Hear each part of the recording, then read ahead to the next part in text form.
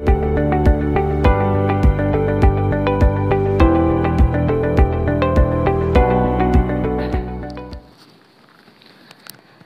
શ્રી કૃષ્ણ, વિદ્યાર્થી મિત્રો, કેમ છો બધા? મજામાં હશો? ફરીથી એક વખત ધોરણ નવની અંદર આપણે જે વાર્ષિક પરીક્ષા માટે ગણિતનું પ્રશ્નપત્ર બનાવી રહ્યા છે, એમાં તમારું બધાનું સ્વાગત છે. વિદ્યાર્થી મિત્રો, હાલની અંદર આપણે જે આઈપી સવાણી શાળા પ્રશ્નપત્ર છે, એનો વિભાગ સી જે પ્રત્યેકના ત્રણ ગુણ છે, એટલે કે ચોવીસ માર્કનો, એટલે કે સૌથી વધારે માર્ક્સ આપતો જો કોઈ વિભાગ હોય, તો આ વિભાગ સી છે. એવા પ્રશ્નો લઈને આપણે આવ્યા છે. તો તમને ત્રણ માર્ક્સના ચોવીસ ગુણ કીધા છે. એનો મતલબ આઠ પ્રશ્નો તમારે અહીંયા ગણવાના છે. જે દરેકના ત્રણ ગુણ છે, ખૂબ સરસ મજાના પ્રશ્નો છે. વિદ્યાર્થી મિત્રો, હાલની અંદર આપણે જે ભણાવી રહ્યા છીએ એ વાર્ષિક પરીક્ષાનો વિભાગ સી અહીંયા આપણે તમને સમજાવવાના છે. અગાઉ આપણે વિભાગ એ અને બી મૂક્યા છીએ તો ધોરણ નવના વિદ્યાર્થીઓ માટે આ ખૂબ જ ઉપયોગી છે. પેપરો વધુ ને વધુ ગણશો. આવી પ્રેક્ટિસ જો તમે ધોરણ નવથી પાડશો, તો નેક્સ્ટ યર દસમાની અંદર એટલે કે બોર્ડની એક્ઝામમાં તમને ખૂબ જ મોટો ફાયદો થશે. કારણ કે વધુ ને વધુ પેપર તમે ગણશો, તો તમને એનાથી એ ફાયદો થશે કે કયા ચેપ્ટરમાંથી શું પૂછાય છે, એટલે કે કયું મહત્વનું છે અને કયું વધારે પૂછાય છે, એના વિશે તમને સમજ પડશે. બીજું, લખવાની પ્રેક્ટિસ થશે એટલે કે તમારો સમય બચશે અને તમારી લખવાની પ્રેક્ટિસ થશે. એટલે ખૂબ મોટો ફાયદો થતો હોય છે. અને હું તો ઘણા વખતોથી ભણાવું છું, તો મારો અનુભવ એવું કહે છે કે જે વિદ્યાર્થી હોશિયાર છે, જે વધારે ટકાવારી લાવે છે, એ લોકો લાસ્ટમાં એટલે કે લગભગ એકથી બે મહિના બે મહિના સુધી લોકો પરીક્ષાના અગાઉ, બે મહિના એ લોકો પેપર જ લખીને પ્રેક્ટિસ કરતા હોય છે. બરાબર? કે જ્યારે આપણે આવા ટાઈમમાં તો હજી ખબર જ ન હોય ને, પરીક્ષાની પંદર દિનની વાર હોય, ત્યારે આપણે માત્ર વાંચવા માટે બેસતા હોઈએ છીએ. તો આવું ના થવું જોઈએ. થોડું તમે તમારી જે કામ કરવાની પેટર્ન તમારી જે થિયરી છે ને ચેન્જ કરો. કારણ કે હવે તમે નેક્સ્ટ યર દસમા ધોરણની અંદર આવવાના છો. બરાબર? એટલે કે બોર્ડનું પરીક્ષાનું પ્રશ્નપત્ર તમારે હેન્ડલ કરવાનું છે. તો થોડા એ રીતે તમે તૈયાર થાવ તો ચાલો, વધારે ડિસ્કસ નહીં કરતા. આપણે એનો જે સત્યાવીસમો એટલે કે ત્રણ ગુણ આપણને આપી જાય, એવો સરસ મજાનો પ્રશ્ન છે. એને જોઈએ શું કહે છે? સંસ્કૃતિએ ઘરમાં એક કાચનું ગ્રીન હાઉસ તળિયા સાથે ગ્રીન હાઉસ તમે જોયું હશે ને? કાચનું જોયું મતલબમાં ઘર જેવું હોય, પણ કાચનું હોય, કે જેમાં સૂર્યનો પ્રકાશ અંદર આવી શકે. બરાબર? એટલે કે ગરમી. ગરમી અંદર આવશે, પણ ગરમી બહાર નહીં જઈ શકે.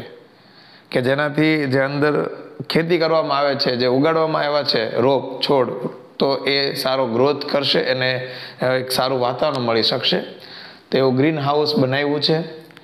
તેની ત્રીસ સેમી, આ જે ગ્રીન હાઉસ છે તે ત્રીસ સેમી લાંબુ છે, પચીસ સેમી પહોળું છે અને પચીસ સેમી ઊંચું હોય, તો તેમાં વપરાયેલા કાચનું ક્ષેત્રફળ શોધવાનું છે. એટલે સીધી રીતે જો આપણે આ પ્રશ્નને સમજીએ, તો આની અંદર તમને આ જે ગ્રીન હાઉસ છે, એ ગ્રીન હાઉસ તમને જ્યાં શું આપી છે માહિતી, તો કે એની લંબાઈ આપી છે આપણને ત્રીસ સેમી. પછી પચીસ સેમી પહોળું છે. એટલે બી લખીશું બ્રોડ પચીસ સેમી. અને હાઈટ એચ એ પણ પચીસ સેમી છે. તો આપણને લંબાઈ, પહોળાઈ અને ઊંચાઈ આપી છે, તો એના પરથી આપણને ખ્યાલ આવી જાય કે આ લંબઘન છે.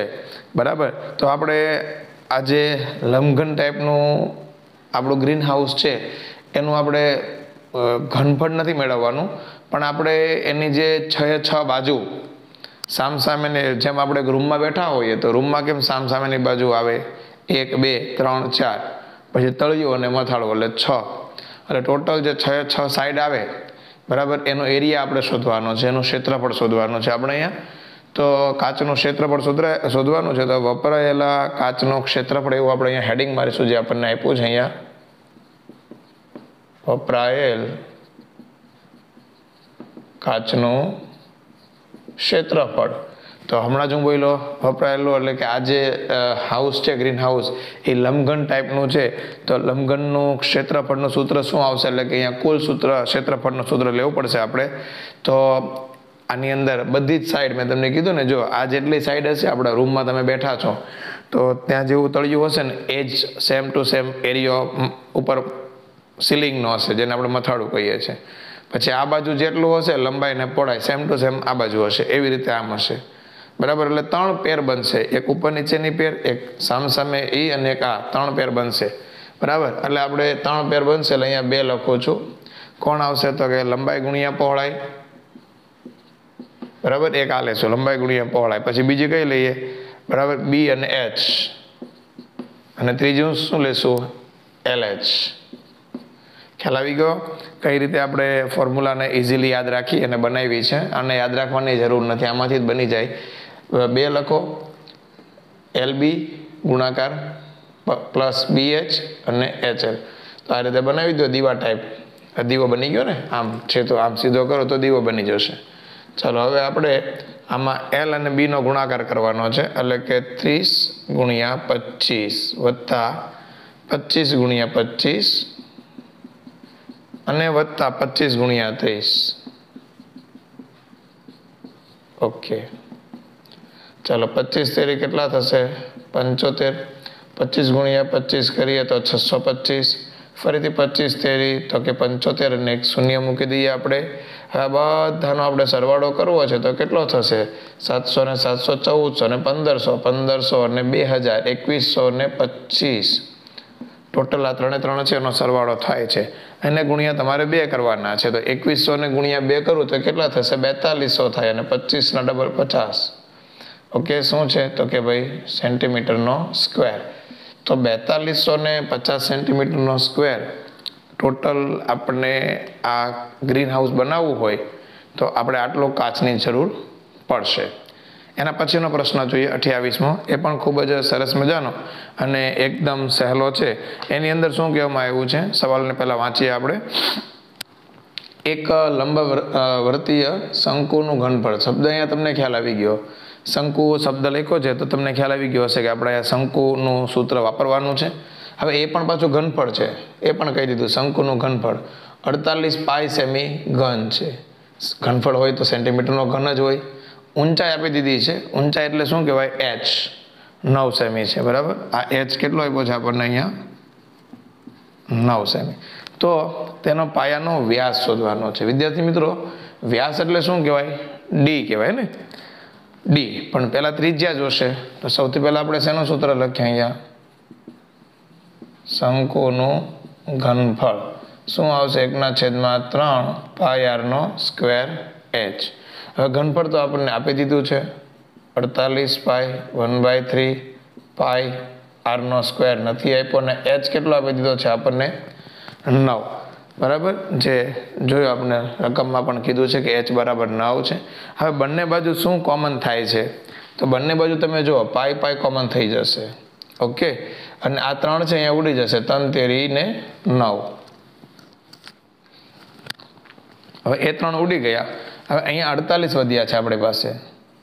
અને આ ત્રણ છે એ ક્યાં આવશે? આ બાજુ છેદમાં આવશે આરનો સ્ક્વેર હવે ત્રણ છે ને અડતાલીસ વડે આપણે ભાગવા છે તો કેટલો જવાબ આવશે? સોળ આવે ને? સોળ તેરીને અડતાલીસ. તો અહીં આપણને આરનો સ્ક્વેર એના બરાબર સોળ સેન્ટીમીટર મળે છે. પણ આપણે આર આર જોતો છે. આર એટલે ત્રિજ્યા. તો આ જે સ્ક્વેર છે, વિદ્યાર્થી મિત્રો આ જે વર્ગ હોય ને, વર્ગ એ બરાબરની પેલી સાઈડ જાય સાઈડ ચેન્જ થાય તો રૂટ થશે. એટલે વર્ગમૂળ થઈ જશે. તો સોળનું શું નીકળી જશે? વર્ગમૂળ કરીએ વર્ગ આ બાજુ તો વર્ગમૂળ, તો ચાર સેમી આવશે. પણ આપણે હજી આપણને જવાબ નથી મળતો. આપણે તો ત્રિજ્યા નથી શોધવાની. આપણે તો ડી શોધવાનો છે, જેને આપણે વ્યાસ કહીએ છીએ. સૂત્ર શું આવશે? ટુ આર, ટુ અને ચાર. ચાર દુને આઠ સેમી. ક્લિયર તો આ પણ ખૂબ સહેલો અને સરસ મજાનો દાખલો છે, વિદ્યાર્થી મિત્રો, જે પણ તમને મજા આવી હશે.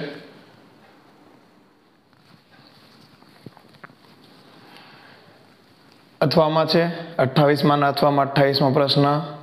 એક અર્ધો ગોળાકાર વાસણની ત્રિજ્યા ટુ પોઈન્ટ વન સેન્ટીમીટર છે.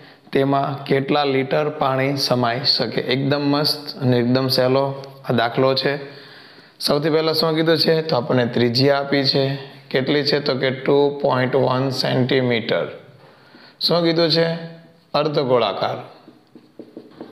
અર્ધગોળાકાર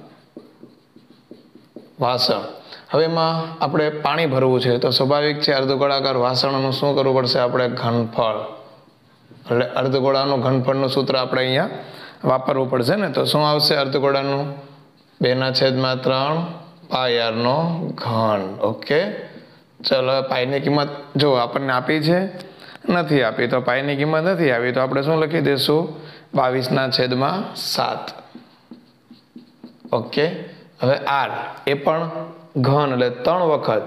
તો આ એકવીસ, ટુ પોઈન્ટ વન છે, તો પોઈન્ટ કાઢી નાખો, એટલે છેદમાં દસ.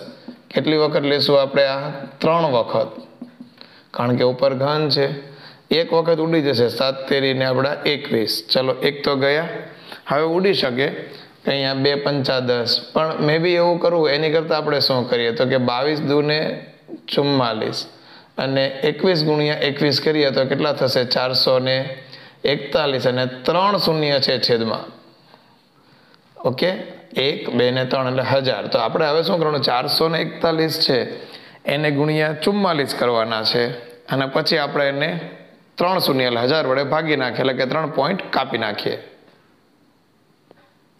ચાલો, તો કેટલું આવે છે? ચારસો ને એકતાલીસ ગુણ્યા ચુમ્માલીસ કરો, તો એનો ગુણાકાર આવશે ઓગણીસ હજાર ચારસો ને ચાર છેદમાં હજાર, એક બે ને ત્રણ એટલે એક બે ને ત્રણ શૂન્ય છે, તો ત્રણ પોઈન્ટ કાપીએ તો ઓગણીસ પોઈન્ટ ચાલીસ લખો તો પણ ચાલશે અને આખું લખો તો પણ કોઈ વાંધો નથી. ઓગણીસ પોઈન્ટ ચારસો ને ચાર શું છે આપણો સેન્ટીમીટર? એનો ઘન. પરંતુ આપણને આ જે જવાબ છે એ સેન્ટીમીટરમાં નથી માગ્યો. સવાલમાં આપણને એવું કીધું છે કે એમાં કેટલા લીટર પાણી સમાઈ શકે? એટલે કે કેટલા લીટર? એટલે લીટરમાં જવાબ લઈ જવાનો છે. તો સેન્ટીમીટરના ઘનને લીટરમાં લઈ જવું હોય તો તમને ખબર હોવી જોઈએ કે એક હજાર સેન્ટીમીટર હોય એક હજાર સેન્ટીમીટર એટલી જગ્યામાં એક લીટર સમાય. એ પછી પાણી હોય, દૂધ હોય, પેટ્રોલ હોય, જે હોય તે. તો આપણી પાસે કેટલા છે? તો કે ભાઈ ઓગણીસ પોઈન્ટ ચારસો ને ચાર. તો કેટલા લીટર થશે? તો આ ઉપર અને આ નીચે આવશે, તો ઓગણીસ પોઈન્ટ ચારસો ને ચાર. એને છેદમાં પાછા હજાર આવશે. તો સર, પાછા હજાર આવશે તો તો જવાબ પોઈન્ટમાં જશે. હજી ત્રણ શૂન્ય આપણે આગળ જવું છે. આપણી પાસે તો બે જ પોઈન્ટ છે, આ એક અને બે, તો આગળ ઝીરો પોઈન્ટ ઝીરો ઓગણીસ લીટર એવું અહીંયા આપણે જવાબ લખી શકીશું. એટલે કે આ વાસણમાં આટલું જ પાણી સમાઈ શકશે, એટલે ખૂબ જ ઓછું પાણી સમાય એવું આપણે અહીંયા કહી શકીએ. વિદ્યાર્થી મિત્રો, ઓગણત્રીસમાં પ્રશ્નમાં એવું કીધું છે, બિયારણની પાંચ થેલી પૈકી દરેકમાંથી પચાસ બીજ પસંદ કરવામાં આવ્યા છે. અંકુરણ માટે યોગ્ય પરિસ્થિતિમાં મૂક્યા પછી અંકુરિત થયેલા બીજની ગણતરી નીચે મુજબ છે. હવે જે બિયારણની પાંચ થેલી છે છોકરાઓ, એ દરેકમાંથી પચાસ બીજ પસંદ કરવામાં આવ્યા છે. બધી થેલી, સમજો કે આ પહેલી થેલી, બીજી, ત્રીજી, ચોથી ને પાંચમી, પાંચ થેલી છે. પચાસ પચાસ છે. એમાંથી બીજ પસંદ કર્યા છે, બરાબર? એમાં અંકુરણ માટે અંકુરિત થયેલા બીજની સંખ્યા હોય એટલે કે પચાસ આપણે બીજ રોપેલા છે પહેલી થેલીમાંથી. પચાસ બિયારણ હતા એમાંથી બધા પચાસે પચાસ જે બી છે એને આપણે રોપી દીધા છે. પરંતુ બધા તો અંકુરિત નથી થવાના, અમુક નહીં થાય, એટલે કે આપણી ભાષામાં એ ડેથ થઈ જશે. તો એમાં પચાસમાંથી પહેલી થેલીમાં ચાલીસ બીજ છે, એ અંકુરિત થયા. અંકુરિત થયા તમને ખ્યાલ આવે છે ને, ફૂટશે. બરાબર ને? એમાં પાંદડા નીકળશે, છોડ થશે. બીજી થેલીમાં અડતાલીસ, ત્રીજી થેલીમાં બેતાલીસ બીજ અંકુરિત થયા છે, ચોથીમાં ઓગણચાલીસ અને પાંચમીમાં એકતાલીસ બીજ. હવે બીજની અંકુરિત થવાની સંભાવના, સંભાવનાનો દાખલો છે, અહીંયા તમને ખબર પડે છે. ત્રણ માર્ક છે એટલે કે ત્રણ સવાલ છે. દરેકનો એક એક માર્ક્સ તમને અહીંયા મળી શકશે. પહેલો સવાલ શું પૂછ્યો છે? થેલીમાંના ચાલીસથી વધુ બીજ હોય. બીજું, થેલીમાંના ઓગણપચાસથી બીજ ઓગણપચાસ બીજ હોય. ત્રીજું, થેલીમાંના પાંત્રીસથી વધુ બીજ હોય. તો હવે અહીંયા તમારે એ સમજવાનું છે. થેલીમાં ચાલીસથી વધુ બીજ હોય એવું તમને અહીંયા પહેલો સવાલ પૂછ્યો છે. તો પ્રશ્ન પહેલો અહીંયા લખીશું કે ચાલીસથી વધુ બીજ. થેલીમાંના અંકુરિત થયા હોય તેવા ચાલીસથી વધુ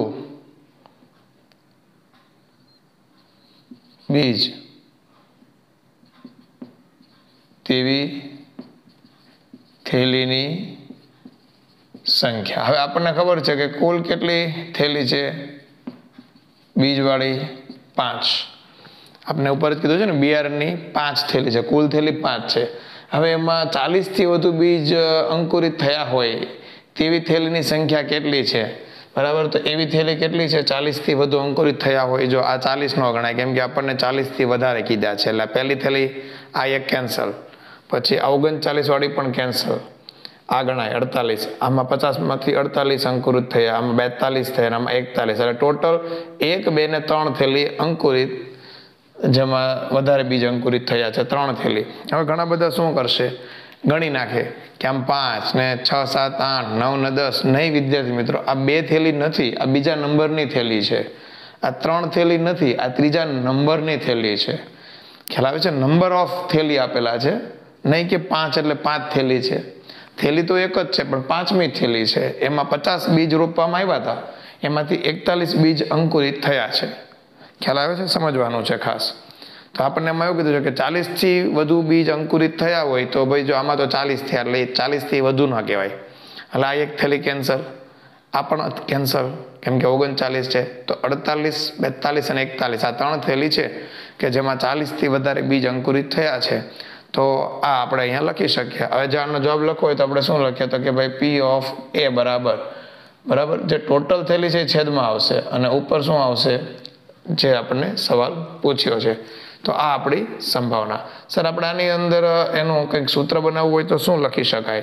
તો તમે નીચે શું લખી શકો? કે બિયારણની કુલ થેલીની સંખ્યા. છેદમાં એવું લખી શકો તમે. બિયારણની કુલ થેલીની સંખ્યા. તો સર, ઉપર શું લખાય?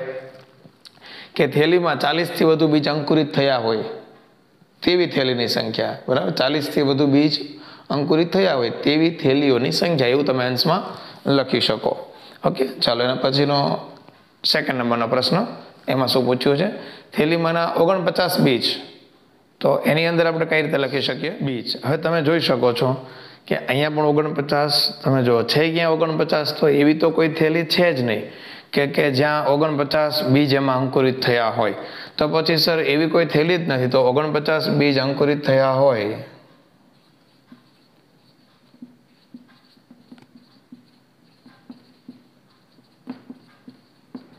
તેવી થેલીની સંખ્યા કેટલી છે? તો કે ઝીરો. એવી તો કોઈ થેલી જ નથી. હવે ઝીરો છે તો હવે ઝીરોના છેદમાં તમે પાંચ લખશો તો પણ શું થશે? ઝીરો જ થવાનો છે ને? તો અહીં તમારો જવાબ શું આવશે? શૂન્ય સંભાવના આવશે, કારણ કે એવું તો શક્ય નથી. ત્રીજો સવાલ. થેલીમાંના પાંત્રીસથી વધુ બીજ હોય, બરાબર? પાંત્રીસથી વધુ બીજ બીજ, અંકુરિત થયા હોય તેવી થેલીની સંખ્યા. પાંત્રીસથી વધારે અંકુરિત થયા હોય તો જો આ પાંત્રીસથી વધારે છે, આ પણ છે, આ પણ છે, આ પણ છે ના મળે કે પાંચે પાંચ. પાંચે પાંચ થેલીમાં પાંત્રીસથી વધારે અંકુરિત થયા છે, તો આપણે ટોટલ પાંચ લખીશું. અહીંયા એ આપ્યો તો, અહીંયા બી આપ્યો તો અહીંયા આપણે લખીશું પી ઓફ સી. પાંચના છેદમાં પાંચ. સર, છેદમાં તો ટોટલ જ લખવું પડે? હા. છેદમાં તો ટોટલ લખાય. અંશમાં તો જે આપણે સવાલ પૂછ્યો છે, એને અનુલક્ષી અને જે જવાબ આવતો હોય તે લખવાનો. તો સર, પાંચના છેદમાં પાંચ લખીએ. તો અહીંયા એક આવશે. આ ઝીરો છે અને અહીંયા સંભાવના આવે છે ત્રણના છેદમાં પાંચ. સંભાવનાનું પ્રકરણ છે એ ખૂબ સહેલું હોય છે કે જેમાં તમે ઇઝીલી માર્ક્સ મેળવી શકો છો.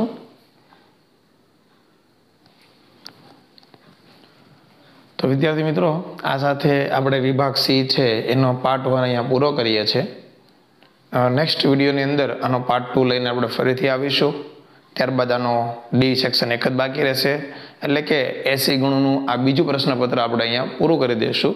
તો ખાસ ગણજો માત્ર જોતા નહીં, કારણ કે મને ખ્યાલ છે ત્યાં સુધી મોટાભાગના વિદ્યાર્થીઓ માત્ર ક્લાસ એટલે કે સ્કૂલ હોય, ટ્યુશન હોય, કે અહીંયા વીડિયો જોવે છે ખાલી.